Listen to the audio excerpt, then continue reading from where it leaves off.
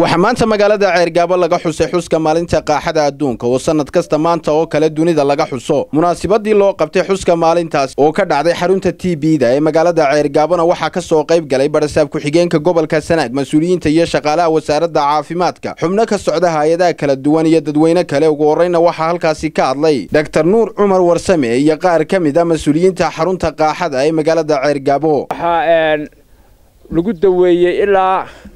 boqol kun oo qof waa gaadhaysaa muddadii uu furaa waxa uu ku jiraa santarkani santarrada eeda.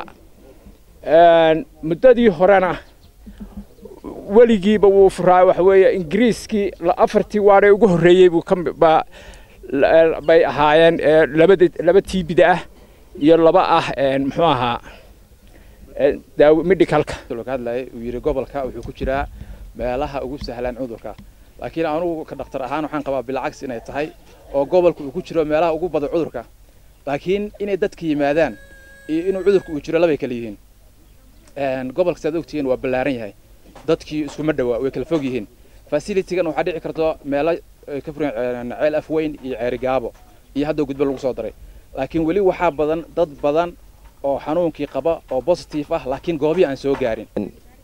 Xaakadu iyadaa noocyo badan inagu ka maaragtay caafimaad ahaan waxaa laga yaabaa dadku inay garanayaan tan ku dhacda feeraha amba sambabaha oo keliya oo markaa tan ugu sahlanee inta badan si fududna lagu ogaado si fududna lagu daweeyo ah laakiin iyadaa noocyo badan anugu dhakhtarka internationalka hargeysan ka shaqeeya qaybta qaliinka dad badan oo t b qaba oo la qalayo baynu aragnaa idinku waxa inaan garanayn ama idaan islahaynba t v baa la qalayaa sidoo kalena waxaa halkaasi hadalka isaga kala dambeeyey. Barasaab ku-xigeenka gobolka sanaag naaleeye axmed sheikh mas'uuliyiin ka tirsan hay'adaha shifaad iyo s d f iyo sidoo kale mas'uuliyiin kale. In la kordhiyo qaybta dhismaha ee waxaan ku yidhi bukaanjiifka gobol sanaag ahaan annaga dhib waxaa nagu hayaa runtii sida la sheegay nambarka tiibida la noolina aada iyo aad buu fara badan yahay nambarka cusbitaalku qaadaana aada buu yar yahay. Waxaan waadhoweyto ka samaynay meesha la yidhaahdo gudbo biyacas santar weyn oo t b.